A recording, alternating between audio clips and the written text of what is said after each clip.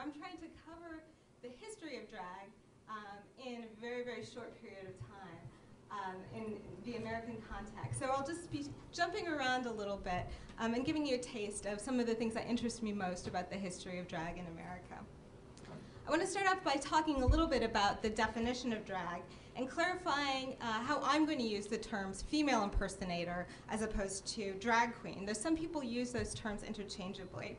Um, or more controversially, some people conflate the terms uh, drag queen and drag king and crossdresser and transvestite and transsexual and transgender, uh, none of which are the subject of this presentation, um, though individuals may certainly lay claim to one or more of these identities.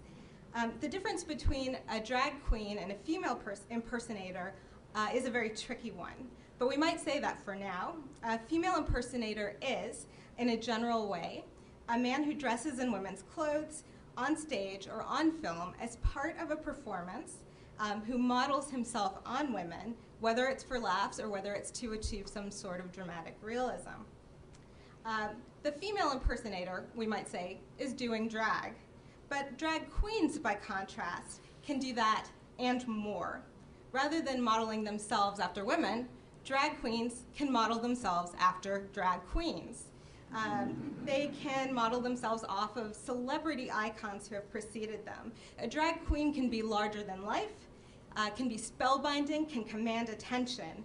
The objective of a drag queen is not usually to blend into the crowd, uh, but to stand out, right, as an extraordinary personality with extraordinary style.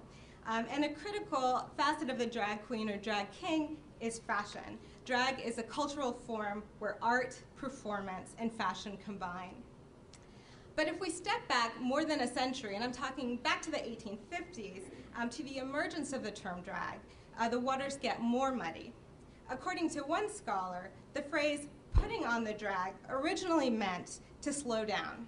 Um, it referred to applying the brake on a, in a coach, um, and then this term seeped into early homosexual slang where it was used to signify uh, the drag on a gown when it rubbed up against the ground. Um, in those days, to go on the drag or to flash the drag meant to wear women's clothes in order to solicit sex from men. Um, the next decades, however, moved that term drag into common theatrical talk. Uh, and it was a, an expression that was used, used to describe the clothes, the skirts, the petticoats that men wore when they played women on stage. Male actors had already played female roles on stage for hundreds and hundreds of years, but this is a moment where drag was used to describe um, what they were wearing. And as we move forward through the late 19th century and into the 20th, I'll pinpoint several examples that will hopefully give you a sense of the shifting terms and conditions under which drag performance and female impersonation took place and how we arrive at our contemporary understanding of the drag king and drag queen. Um, so I'm going to try and make this work. We'll see. Okay, so uh, a little bit about the tension between the drag queen and the female impersonator. This is from, if you don't recognize it, season 10 of RuPaul's Drag Race, uh, where there was a controversy between Raven and Tatiana because Raven said Tatiana wasn't a drag queen. She was just a female impersonator. She didn't have the kind of personality and style that Raven did. Um, but back to the 19th century. First of all, and perhaps surprisingly, uh, cultural historians have located some of the earliest instances of female impersonation in America in popular minstrel shows, uh, where usually white men and occasionally black men played coon types like Topsy from Uncle Tom's Cabin, or yellow gals, or black wenches in blackface. That is, their faces were blackened with, uh, with cork and they were painted up in exaggerated, degrading stereotypes of, of black Americans. Um, and they were low humor acts. Um, but these kinds of sketches in blackface, and you see an example um, of Rollin Howard here in blackface and George Griffin uh, playing against him in a minstrel show. Uh, those shows, these low humor shows, gradually paved the way for men to play uh, women in burlesque and eventually uh, white women who were pure on stage. Um, these shows would usually end with men removing their wigs and restoring order because it wasn't acceptable, as you might imagine, to continue wearing that drag off stage. Uh, second, in the early 20th century, female impersonation found a stronghold on university campuses um, and preparatory schools as well, where there were all male amateur dramatic societies, and they would stage comedies and burlesques that featured drag performance. Um, this collegiate drag uh, was present at almost every university across the country, and it persisted even after these universities became co ed. Um, it still continues at schools in societies like uh, Harvard University's Hasty Pudding Club. The public and the press supported and publicized these kinds of performances. Uh, though during World War I, both Harvard and Yale instituted regulations that would prevent young men from spending more than one year in skirts uh, because they thought it might lead them towards effeminate tendencies. Third, uh, the American theater in the early 20th century made room for a different kind of female impersonator on the stage. Um, one of the most famous examples of this is Julian uh, Eltinge, um, who was an actor who appeared in New York in a musical comedy called Mr. Wick of Wickham, where he had to play a college student who disguised himself as a woman.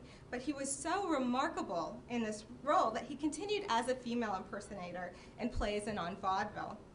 After an extremely successful performance in a play called The Fascinating Widow, uh, in which he was widely admired by female audiences, Eltinge decided to capitalize on this fame by advertising cold cream, liquid whitening, and powder, the makeup that he had ostensibly used in his performance. Um, he created a magazine that was called Julian Eltinge's Magazine and Beauty Hints, um, which appeared in 1913. And he advised women how they might acquire feminine graces. Um, but at the same time, he commiserated with his female audience about how time consuming it was to primp, uh, how much a corset that he needed to use to um, achieve his fabulous 24 inch waistline, how uncomfortable that was. In addition to these comments on beauty culture, though, uh, he used the magazine to present images of himself as a man. So here you see Julian Eltinge as a man and as a woman. He talked about his experiences growing up and working on a Long Island farm. Um, he wore a beard and a mustache in some of his images. And these images signified uh, or underscored the pressure he had to affirm his manhood, even though he was appearing as a woman.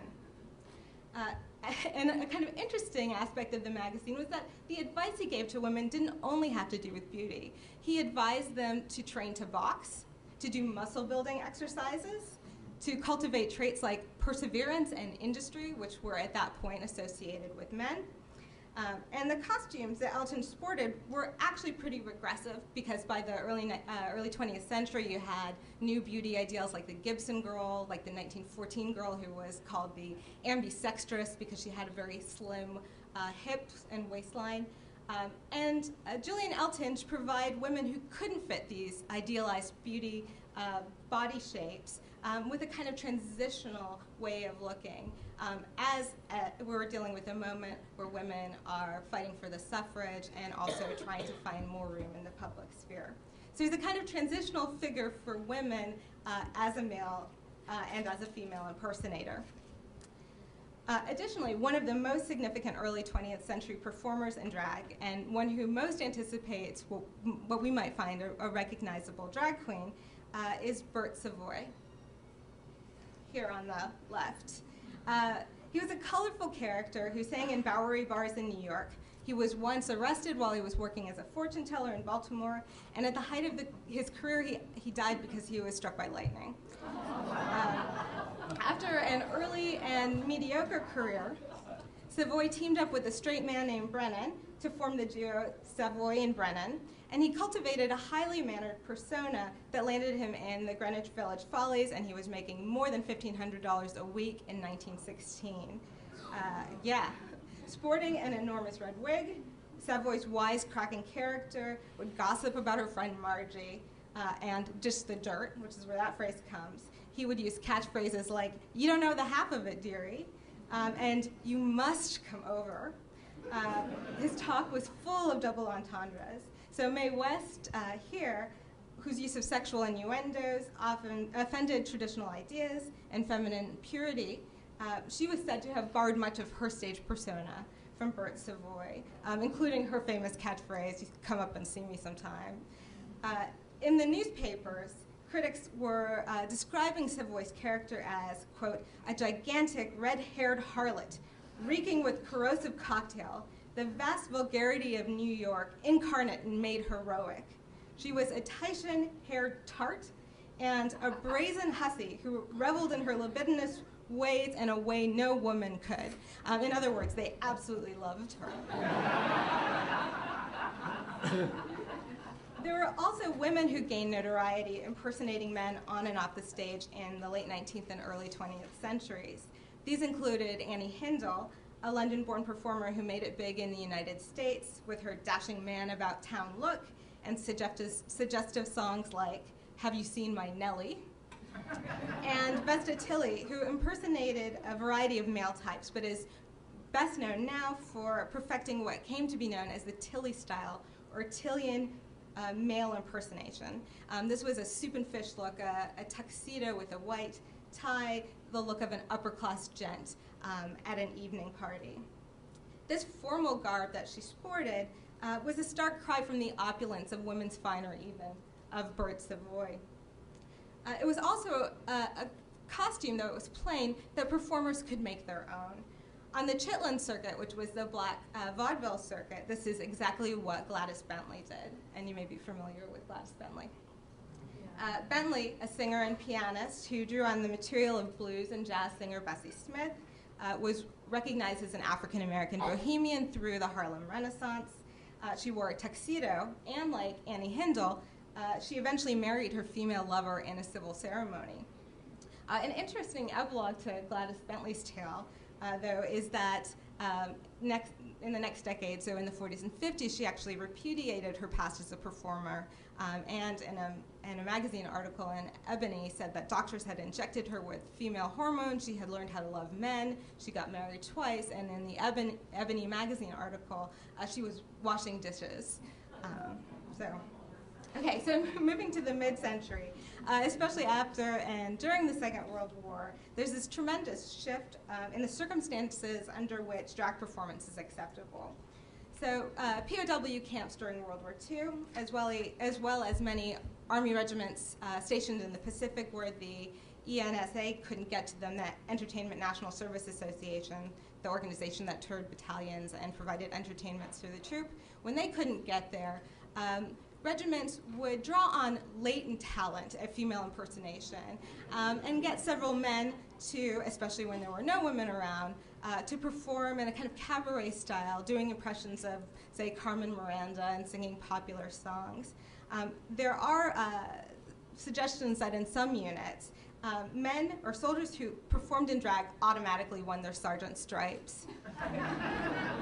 Some of these men uh, ended up seeking uh, careers as professional female impersonators when they returned home, um, but they didn't have much success. In England, this wasn't true. There were some drag performers who ended up becoming popular on the stage, even having shows in the new medium of television, but not so much the case in the United States.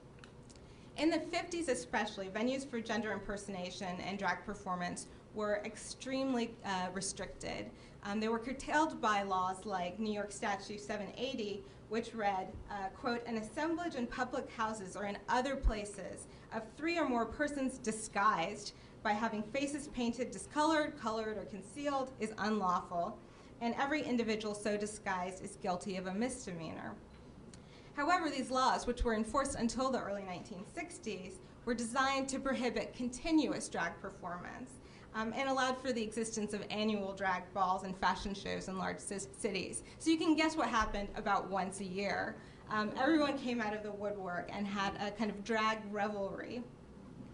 Um, but people who tried to have continuous drag performances faced crackdowns and police raids throughout the 1950s. Most states required that men uh, wear at least three and sometimes as many as five articles of, of male clothing um, to avoid arrest. Um, and this was true even in New York and in San Francisco. Men would be examined as they entered and as they exited a club. The same was true for women. Um, and performers in San Francisco, for instance, who wanted to receive cabaret cards would have to agree to be uh, fingerprinted and photographed by the police in order to do so. So these police raids and harassment took a great toll on clubs and uh, drag performance in general during the 1950s. Nevertheless, some companies did promote drag and female impersonation um, as reputable forms of entertainment, uh, most notably the Jewel Box Revue, 25 men and one girl, which became the first integrated drag show uh, when in 1955 they hired a lesbian performer, um, you have on the right, Storm DeLarverie, who was an equestrian, a big band crooner, and became the MC for the group. The star of the Jewel Box Revue was Thomas Craig Jones, or T.C. Jones. Uh, his show included impressions of Edith Piaf, of Katharine Hepburn, Bette Davis, Tallulah Bankhead, um, and so on. But in order to avoid harassment, the Jewel Box had to appeal to a general public audience rather than a clientele um, of, of homosexuals. And all of its female impersonators had to be over one. They had to arrive in male clothing and leave in male clothing as well. Meanwhile, from the mid 1930s uh, through the 1950s, um, a moment when the motion picture production code in Hollywood was most enforced um, and Hollywood films were most censored, um, Hollywood films were incredibly cautious about experimenting with gender roles and drag performance. Uh, needless to say, there was an asymmetry in Hollywood movies. So, um, sorry. So when you had uh, women who appeared mannish, the plot often resolved when they learned how to act in a feminine way. But you did have um, some really interesting uh, instances of men in uh, female impersonation in the 1950s.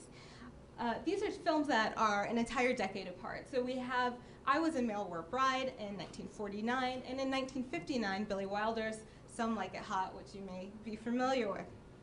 Um, in the 1949 film, Cary Grant, uh, and this is a screen test for him, you, you can see how he looks. He's not incredibly happy, which was also true in the movie.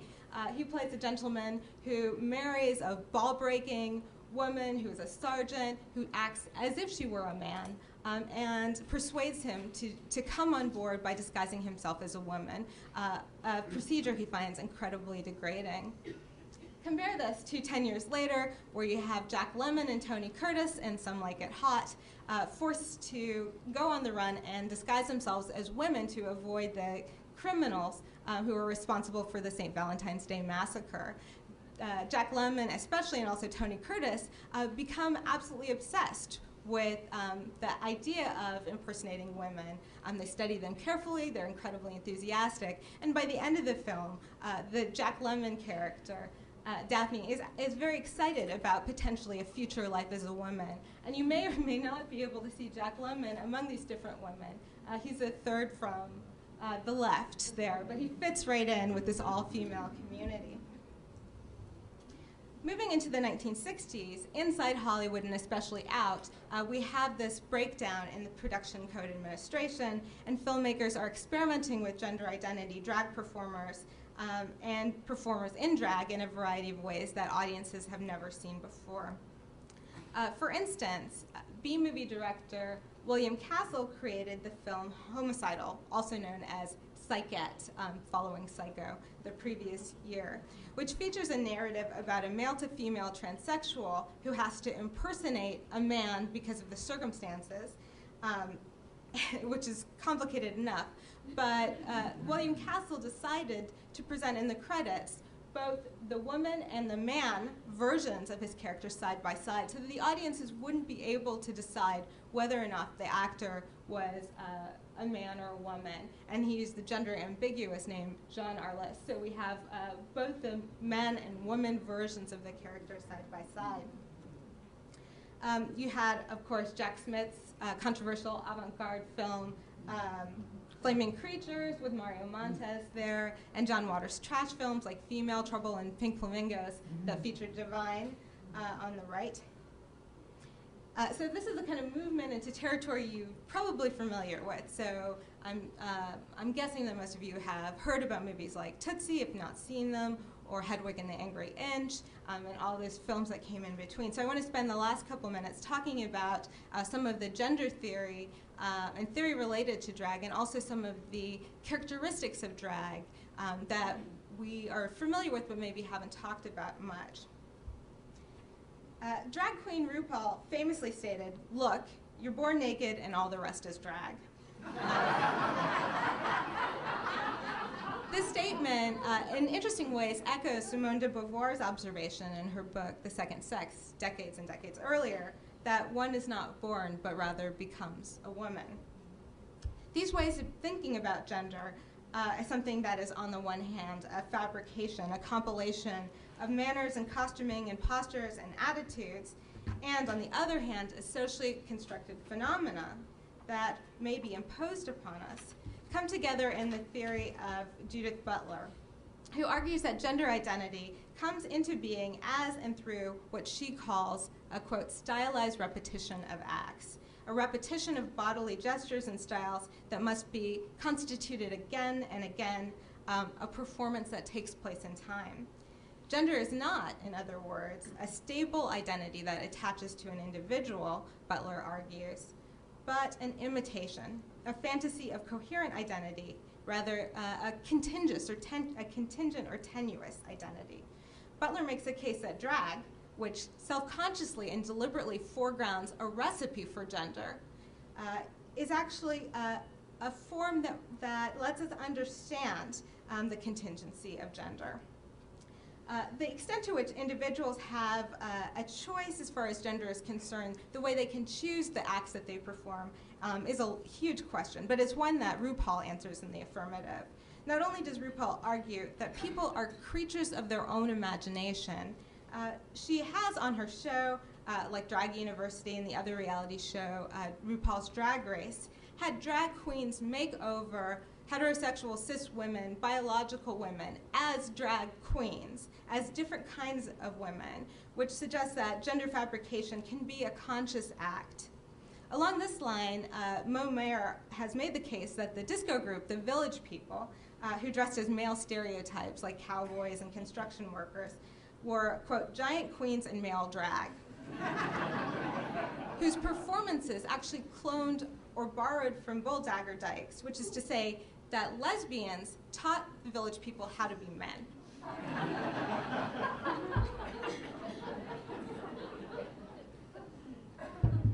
Another important scholar who writes about female impersonation, um, and specifically cross dressing, is Marjorie Garber. She argues that cross dressing isn't just about crossing over between uh, the categories of man and woman.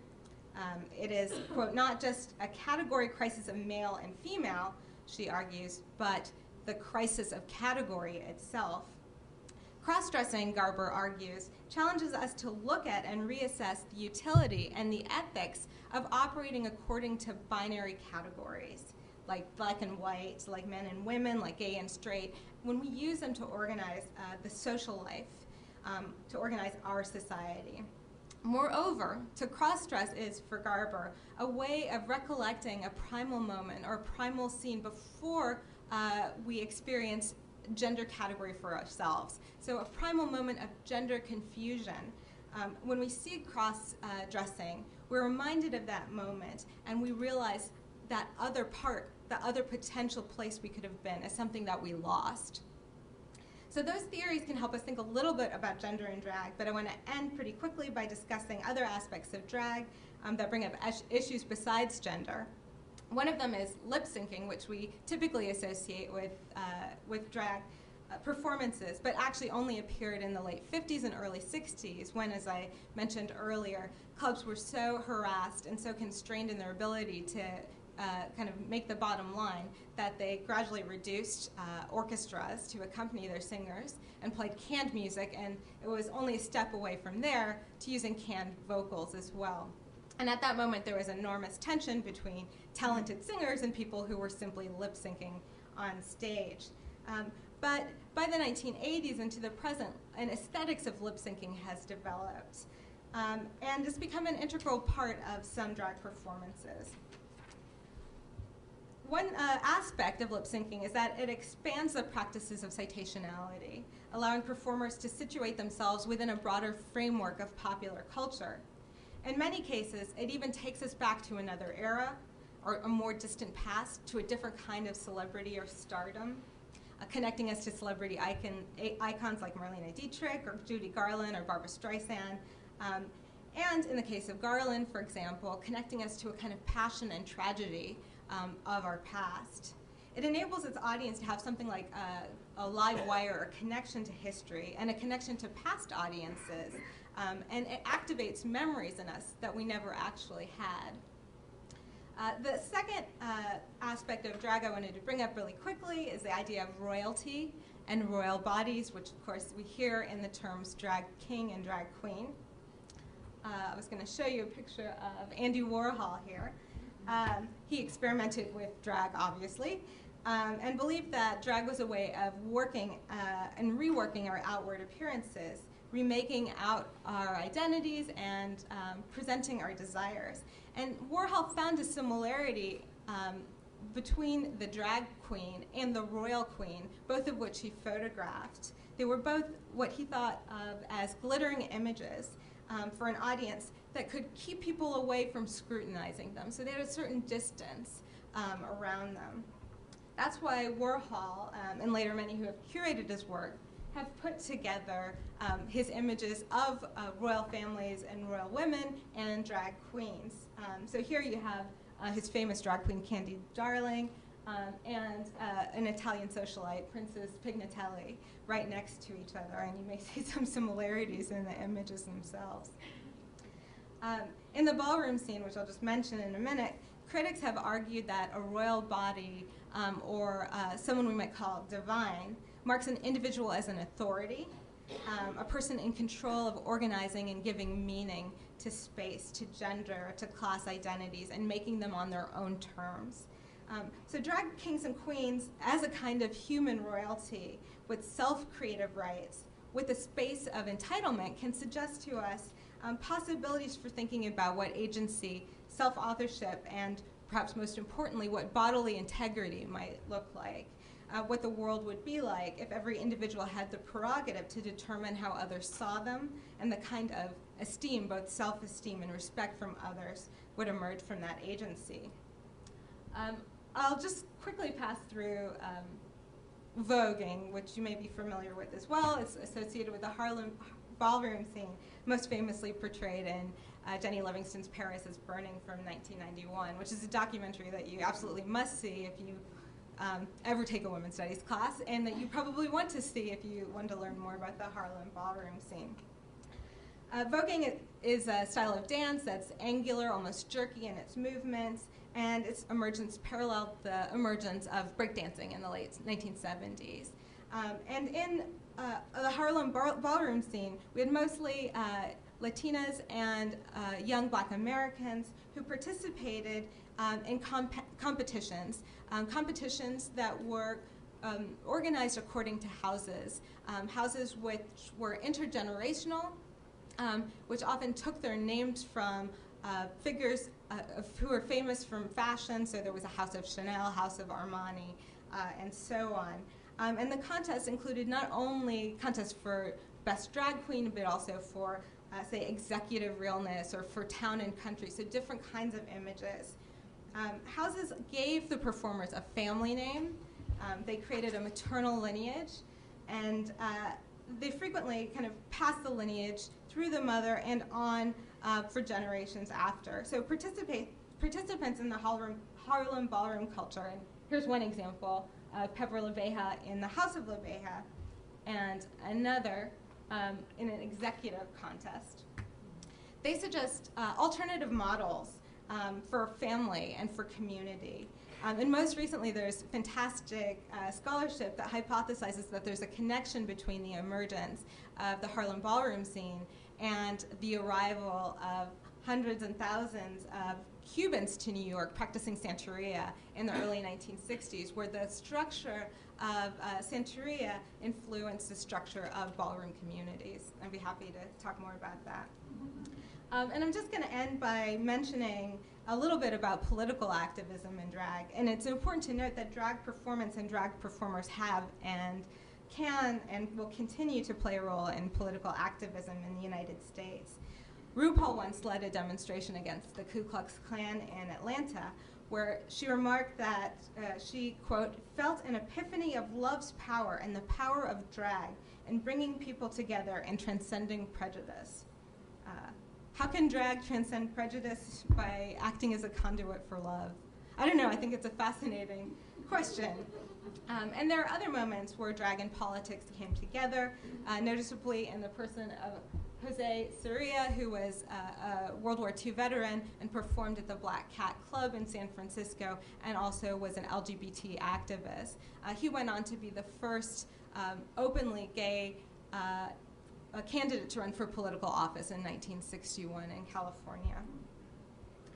Um, and a third example is Joan Jett Black, who ran as a Queer Nation candidate uh, for municipal office in the 1991 Chicago mayoral race. She used her drag persona in highly publicized events like shopping street, like excuse me, like shopping sprees and the Gold Coast district in Chicago. Um, and here you have her as a part of the Black Panther Party. um, so she used drag to think differently about what politics should look like and what politicians should do.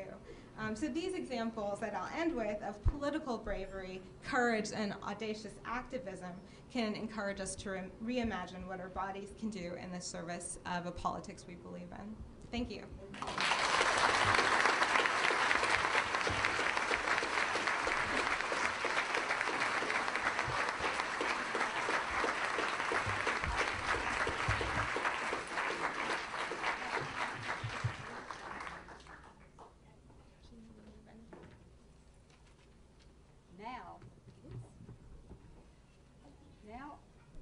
Now I would like to introduce Vivica C. Coxx, the creative mind behind Vivica C. Coxx Presents Series and Durham's Drag Diva.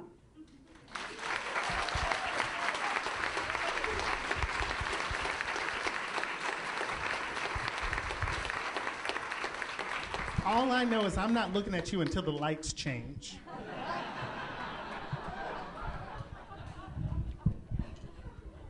Now you can't see me.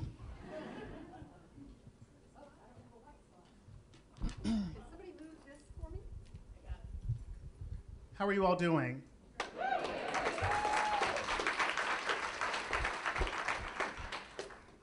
I want you to know that you don't need to see me to love me, but when you do see me, you will love me. So I hope you've had a very educational experience. Um, they told me to keep it family friendly. I'm looking for children. I see at least one, so I will. I will take compliments in the form of whistles. yes, Mama. Oh, she's here. she follows me around. It's kind of creepy. But seriously, did you enjoy your lecture?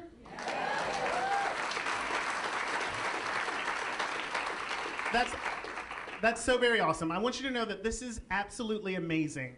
Um, it's not often that as a drag performer you get to walk into a library. now, I've been known to read a few things, and usually they're humans and other drag queens.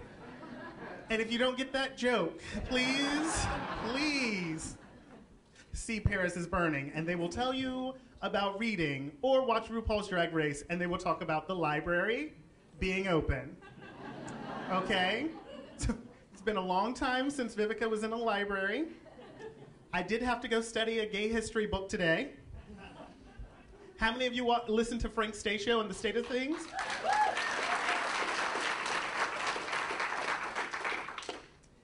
There was one thing my mother always taught me, and that was to not have too much pride.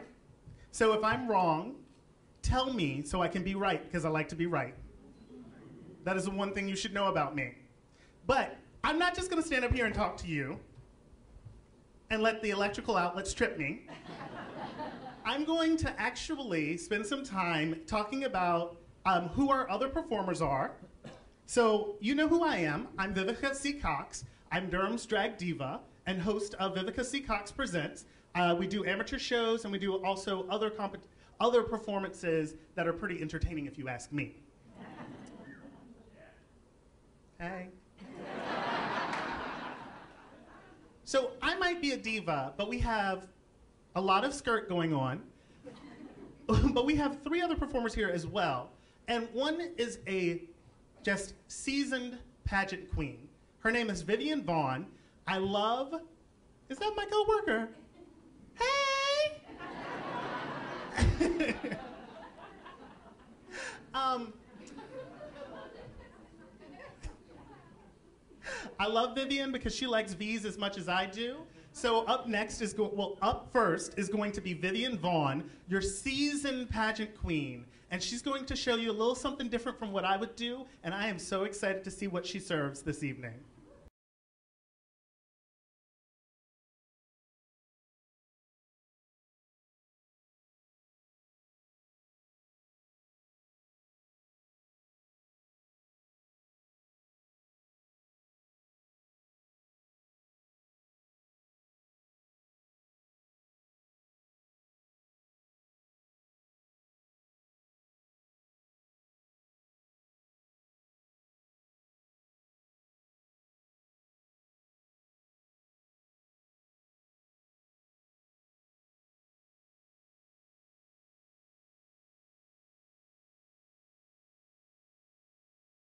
I'm going to do what I do best. Be pretty. I don't understand why everyone says to me, you a funny queen, when I work so hard to be a pretty queen. When in fact, I'm both.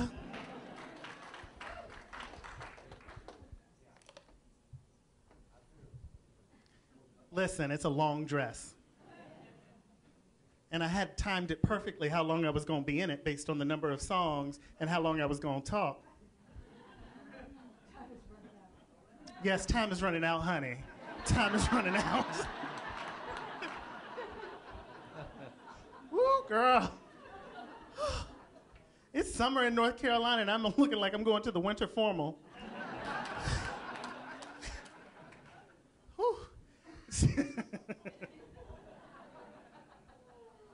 I started thinking about Hogwarts and how I was going to make a Hogwarts joke because it was family friendly. Then I thought, ha, family friendly. And then I got lost in my mind and then I couldn't tell a joke. And it was really sad.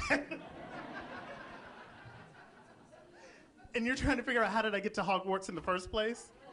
Because I'm a nerd and I heard winter formal and I thought about that moment when Hermione went to the winter formal with the really cute guy instead of Ron. I mean, Ron is cute in his own unique way. It, y'all, listen, you all have homework to do. Take out your pen and paper. There are things that you must watch and do between now and the next time you see me. And the sad part is I'm gonna remember your face and you ain't gonna know me on the street.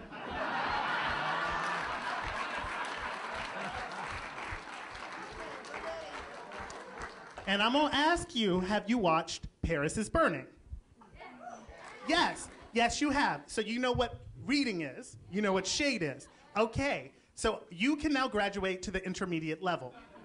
I'll get back to you in a second. Okay. Are you ready Try with that mic. with this mic? Yes. You want my mic? I was in the middle of something. I'll get back to you.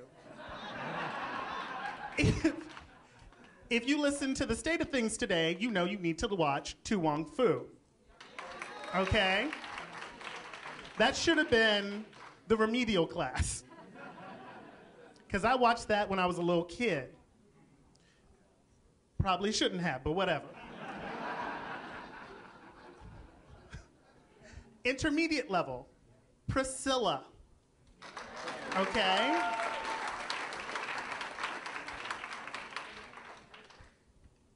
There are kids here.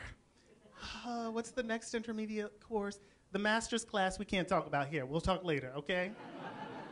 the intermediate level will also include season one of RuPaul's Drag Race. Only season one. That was low budget. I think the library has more money. That was a read. Again, if you don't know what that is, watch Paris is Burning. they don't really look like they're ready for my mic because they're still over there discussing. my jewels? Honey, I bought them.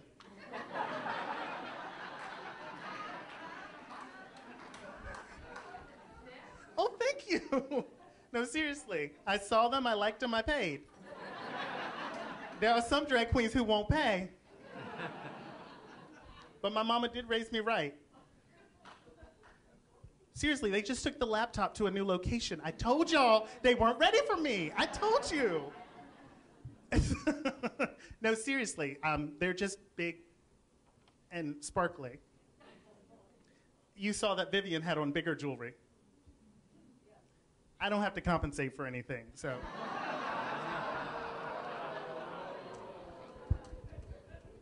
Because they better have my music on, or else I'm gonna need bigger jewels. I told you this was a family friendly event. I'm trying to keep one eye on them. I don't have anything else to do with my other eye. I'm sorry. I really don't. I was trying to think, well, I could look at. I love you though. It's okay. what else do you want to know about my outfit? Okay, someone asked me if I made it. I made it rain. I do know how to sew, but I did not make this outfit. Another question? I guess.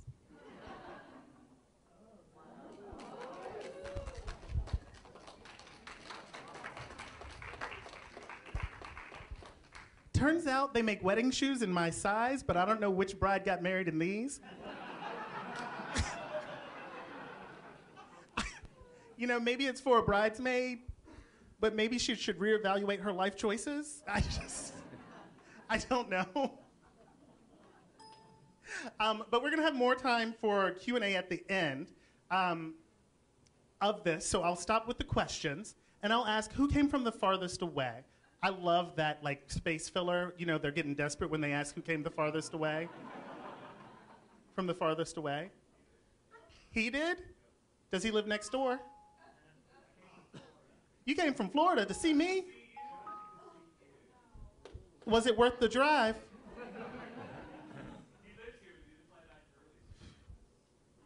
Oh, that's so precious.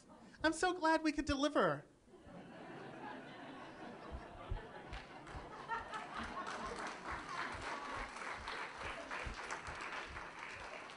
Listen, this is not the worst thing that has ever happened to me. One time at my own show, my music wouldn't even play. Just wouldn't play. So the, you know, the audio guy put on a whole different song, a whole different version. And he was like, this is it. And I was like, that ain't it. He just kept playing. And he just kept playing. So I just made it work. I was just like,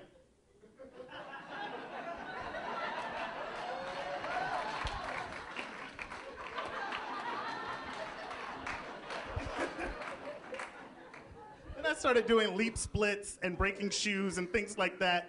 And everybody was like, that was amazing. And I went, thank you. so you really just have to kind of go with the flow. Um, because they're working really hard up there. So I'm trying to, you know, give them time and bear with them. I'm getting no indication of what's going on, so that means keep talking, right? Seen any good movies lately? no, seriously, I need something to do tonight because I'm clearly not working.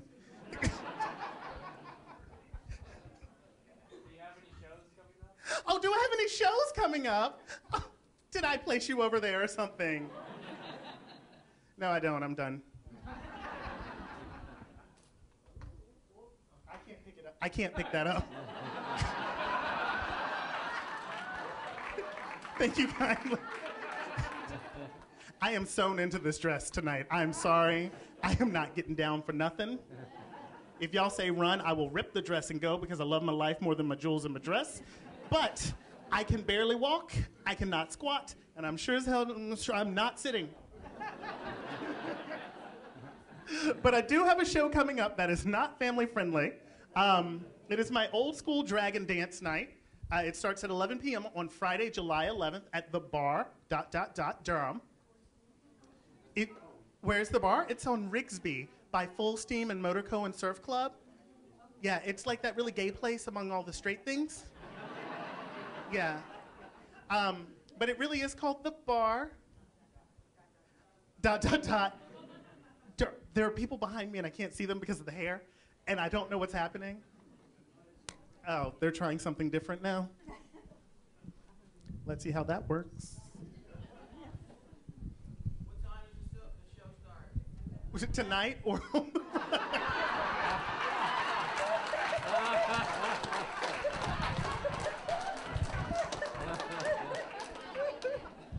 On July 11th, it starts at 11 p.m. I look better at night, honey. So you can look better in the morning, right? Okay. Well, we have different lives. but it's totally worth it. Um, we have a very large age range um, at my shows from like 18 to 24. I'm kidding. 26.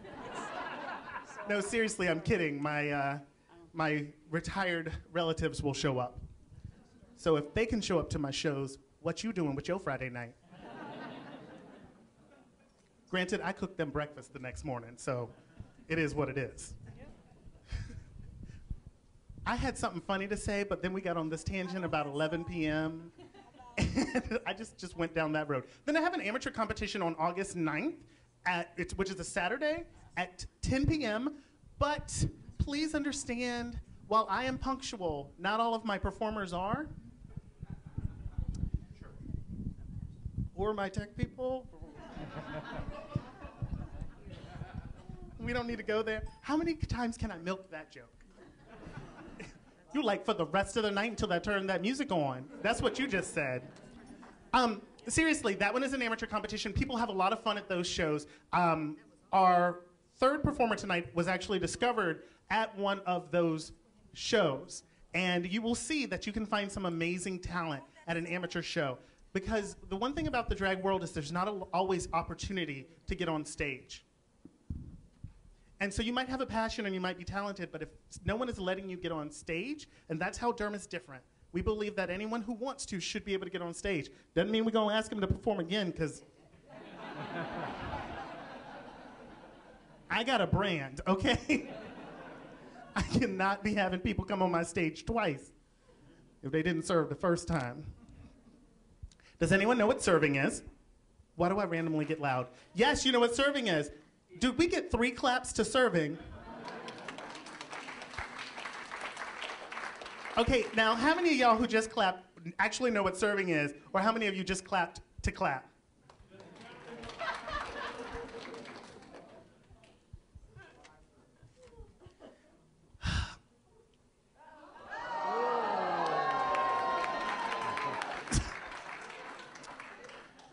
right now, I am serving ballroom gown lounge realness.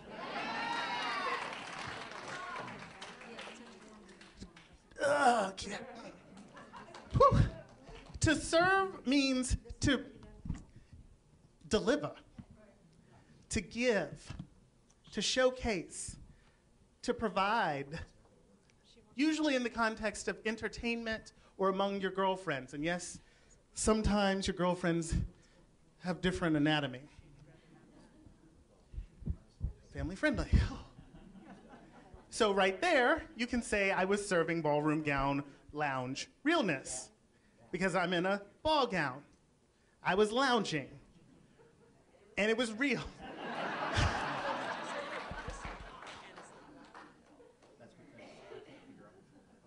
I think on the state of things, I may have referenced executive realness. I did, I did. Thank you. That is when an earring falls off because you swung your ear. Oh, no, it stayed. It stayed. Okay. Um, executive realness is where you put on a business suit and look real cute. All right, right? You get it now, right? But can you imagine a drag queen in a business suit? That's right, because we can do anything we want, honey. Oh, we're gonna go with what we have. But you enjoyed your little moment, didn't you?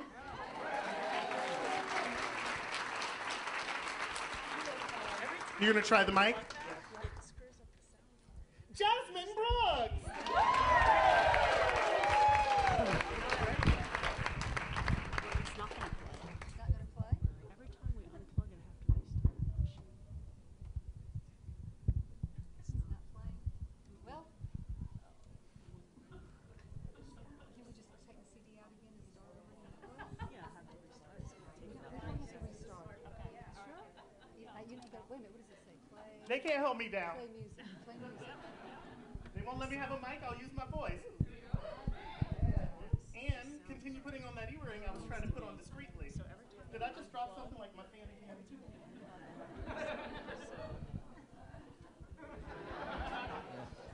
Okay, come on, okay. Another perk of being, being a drag queen, you drop things and boys pick them up. We can get some music going. I'm not gonna do it. Okay. I don't believe in being cliche or predictable. Question? What? So we're, we're trying one more thing. We, sorry for this. So why don't we have a couple of Q and A's with our scholar? Where's Michelle? Where did you, there's you. So we'll take a couple of questions and we'll do the next performer as soon as we try this last thing. So I will, um, let me have this mic. This is our best mic. Can I have this mic back? Yep, please, thank you. That's what I was just asking. Okay. Okay. Oh, you need this mic? Okay. Okay. So we're going to ask you to repeat the questions. Sure. Okay. First question. Please help me here.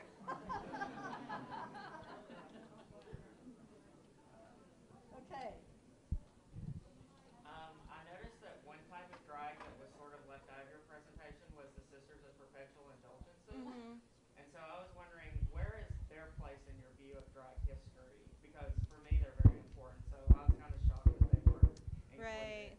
You know, I was trying to do a million things. And oh, so the question is Sisters of Perpetual Indulgence, where do they fit in this whole um, kind of genealogy that I provided for you? And, and I first was uh, prefacing um, my answer, I'm not sure if I really have an answer, um, with a statement that I was just trying to cover a huge span of time. Do you want to come up for a second? Yeah. Um, thank you. So, do you want to talk a little bit about the Sisters of Perpetual Indulgence and how you see them fitting in, or why you think they're really kind of important to this genealogy? And can you give us your name as well? Hi. Um, hi, I am Andrew, and I'm a student at Duke University. And um, Sisters of the Perpetual, Perpetual Indulgences was a group that was founded in San Francisco. And they came out of a, a time when, in which the Roman Catholic Church was really oppressive to people in the Bay Area. And so they start dressing up as caricatures of nuns. And they have the white faces and the medieval painted faces. And what they did was they did outreach and counseling and um, safe sex um, promotion and HIV/AIDS awareness. And they continue to grow today. And there's chapters all over the United States. And they're sort of a, a really helpful community group. They're sort of like the houses in Harlem um, with the ballroom community. And they do a lot of social work and a lot of social activism on the part of the gay community.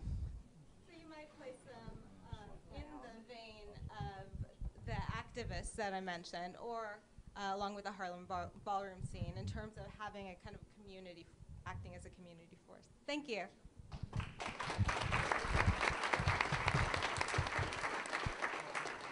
Are there other questions? Yeah. How does the history of drag in the U.S.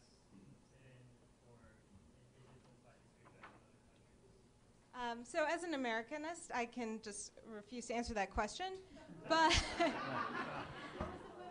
the question was so, how can we compare the history of drag in the United States to how drag works in other countries or the history or genealogy of drag in other countries? And I'm a little bit familiar with drag in Great Britain, and there is a different kind of openness, or there has been historically, to female impersonation. Uh, even in the early 19th century, I mean, late 19th century, early 20th century, there's a famous case, um, a man named Boulton, who dressed as uh, a woman on the street. Um, actually lived as uh, a woman and was ultimately arrested. This was around the time of Oscar Wilde's trial. Uh, he went to court, um, and uh, because of his realness, because of the preciseness and the beauty of his impersonation um, of a woman, um, thespians all across London went to the trial. And when uh, he was acquitted, they stood up and yelled, Bravo! So, uh, you know, across the 20th century, there's a kind of interesting and more expansive um, story of drag in, uh, in England. Um, in other countries, um, as I'm sure you know, there are all these different versions of female impersonation on the stage that have to do with different forms of theater um, and different traditions. Um, but the history of drag in multiple countries across the globe is not something I can trace today. Thank you for your question. Other questions? Are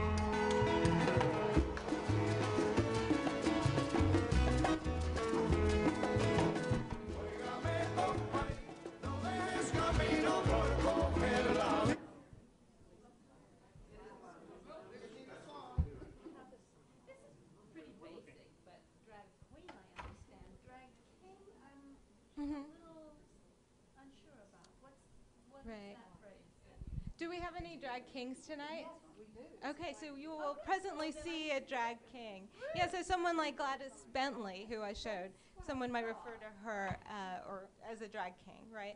Um, so yeah, term that goes along. Other questions? Yeah, all the way to the back.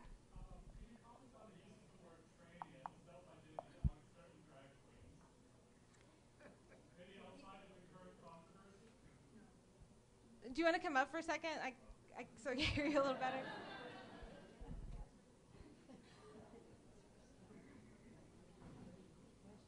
Who are you? Wait, what am I supposed to say? Yeah. So can you ask your question? Yeah, so I was just asking um, if you could comment on the history of the word tranny as an identity that some drag queens and female impersonators take on. Yeah. So like tranny is in transsexual, Um, or is in a more recent usage. Yes. Yeah. I'm not really sure what you are interested in having me say. Um, Uh, well, there's the current controversy going on between the transgender community Mhm. and, and the drag community, but also there's some drag queens who sort of empowering or reclaiming the word. Okay, so if we're talking about reclamation um, as a form of identity politics, um, I'm, I'm not here to kind of side on one side or another, and people uh, kind of choose different categories and identities and vocabularies over time. So you do have the reclamation of terms like queer, terms that I'm not going to say in a family friendly performance in case they uh, would offend some people. But the idea here is, of course, that any reclamation of an identity label could offend somebody. Um, yeah, I mean, and I think it's true in, in, or the reason that there's a controversy surrounding the term tranny. Um, do you have uh, uh, some ideas you want to express about that? no? Oh gosh, no? Uh, I was wondering, like, has it been going? I didn't know if you were. familiar- Is there a history of this, or is this just a recent development in the past few years? Do you want to talk at all about? Honey, I ain't been paying attention.